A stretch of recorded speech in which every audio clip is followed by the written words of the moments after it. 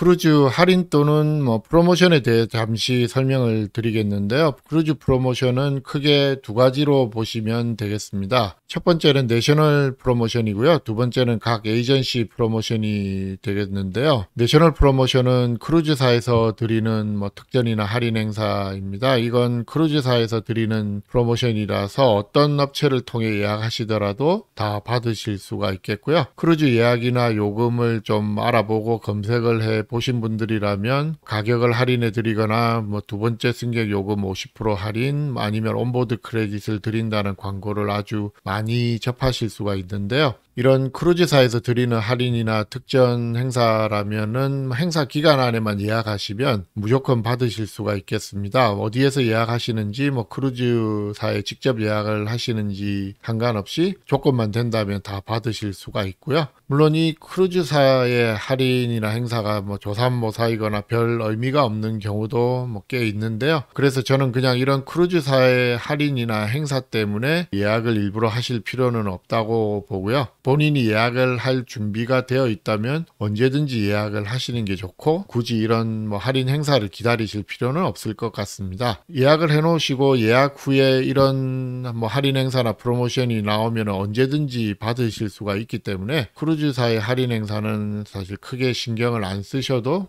되겠습니다. 단 럭셔리 크루즈는 어, 좀 예외가 되겠는데요. 럭셔리 크루즈사에서 하는 할인은 어, 나중에 다시 안 나오는 경우가 많기 때문에 럭셔리 크루즈 를 예약하시는 분들은 이런 할인이 있다면은 조금 서둘러서 예약을 하실 필요도 있겠습니다. 아무튼 일찍 예약을 하신 분들이라면 뭐 처음 예약하신 요금과 조건보다 더 좋은 조건이 나오면 언제든지 더 좋은 조건으로 갈아타실 수 있기 때문에 항상 뭐 더 유리한 입장이 되겠습니다. 잔금 결제 전에는 승객에게 항상 유리한 게 크루즈 예약이라는 것을 아시면 좋겠습니다. 그리고 온라인 업체의 홈페이지에서 크루즈를 검색하실 때 아주 다양하고 뭐 현란한 프로모션 마케팅 문구들이 많이 보이는데요. 뭐 이 중 대부분은 national 프로모션이라서 어디에나 있는 할인이나 특전이고 또 상당 부분이 늘 있는 할인이나 뭐 행사인 경우가 많습니다. 뭐 예를 들어서 1,500불 상당의 할인 쿠폰북을 드린다든지 onboard credit up to 500불을 드린다든지 하는 선전 문구는 뭐 거의 무시해도 좋을 만한 내용인 경우가 많은데요. 먼저 이런 할인 쿠폰북은 뭐 이미 그 실체가 뭐 어느 정도 좀 알려져 있어서 요즘은 별로 인기가 없어서 많이 줄어들었는데요. 실제 이 쿠폰북을 이용해서 1,500불 상당의 할인을 다 받으려면 한 만 불 이상은 써야 할 정도라서 뭐 거의 쓸모없는 경우가 많습니다. 뭐 쉽게 말씀드려서 돈을 쓰게 만드는 쿠폰들이기 때문에 안 받으시는 게 오히려 뭐 나을 정도이고요. 그리고 onboard credit도 이 up to라는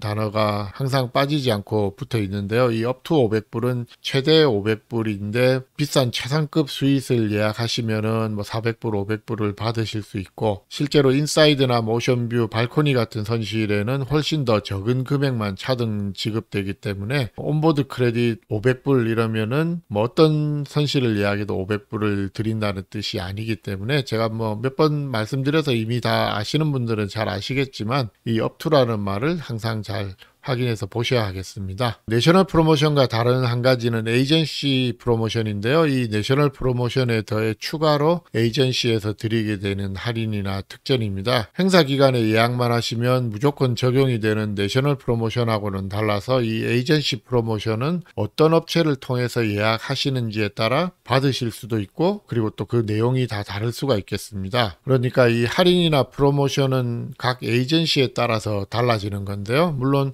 어, 이 에이전시 프로모션은 크루즈사에 직접 예약하시면 뭐 절대 받으실 수 없는 그런 프로모션이 되겠습니다. 그럼 여기까지는 크루즈를 예약하실 때 어떻게 하면 조금이라도 더 절약을 하실 수 있는지에 대해서 한번 알아봤습니다. 그럼 지금부터는 크루즈를 예약하는 방법을 구체적으로 단계별로 한번 알아보도록 하겠습니다. 크루즈를 예약하시는 방법을 어, 10가지 단계로 나눠서 설명을 드리겠는데요. 크루즈 상품을 이미 어떤 걸로 가실지 확정을 하셨다면 바로 4번으로 가서 시작을 하시면 되겠고요. 아니면 첫 번째는 언제 갈지 또는 어디로 갈지 계획을 먼저 세우시는 게 좋겠습니다. 두 번째는 지역을 정하셨다면 어, 몇박 일정이 있는지 몇 박 정도로 가실지 검색을 해 보시는 게 좋고요. 다음은 어떤 크루즈사의 상품이 좋을지 인터넷 검색을 해서 가서 좀 알아보거나 아니면 크루즈 전문 업체에 상담을 한 후에 결정을 하시면 되겠습니다. 이 세 가지 단계로 크루즈 상품을 어느 정도 확정을 하셨다면 네 번째는 크루즈 출발 날짜와 크루즈사 그리고 크루즈 배하고 선실 등급을 결정을 하시게 되는 단계인데요. 그 다음은 크루즈사 선사 홈페이지에서 national 프로모션이나 뭐 할인이나 특전이 어떤 게 있는지 한번 알아보시고 여섯 번째로 인터넷 업체 한 두 군데서 같은 크루즈 상품의 가격이나 추가 할인이 있는지 확인해 보고 그 다음에 크루즈 전문 업체 같은 할인이나 추가 할인이 있는지 확인해서 비교를 해 보시면 되겠습니다. 그럼 여기서 크루즈를 이제 결정을 하셨다면은 다음은 예약금이 잔금 결제 전에 취소하면 환불이 되는 요금인지 아닌지 확인을 꼭 하신 다음에 만약 환불이 안 되는 요금이면 환불되는 요금하고 가격 차이가 어느 정도 차이가 있는지 확인해서 둘 중에 어떤 요금으로 할지 결정을 하시면 되겠습니다. 여덟 번째로는 어디에 예약하실지 업체를 선정하시고 예약금을 결제를 하시면 되고요. 예약금을 결제하신 후에는 크루즈사 홈페이지에서 회원 등록을 하시고 본인의 예약이 잘 되어 있는지 확인을 꼭 하시는 게 좋겠습니다. 마지막으로는 잔금 결제 전까지는 크루즈 요금을 계속 모니터링을 하시고 잔금 결제하시기 전에 최종적으로 가격하고 특전을 다시 한번 확인하고 더 좋은 조건이 있는지 확인 후에 잔금을 결제하시면 되겠습니다.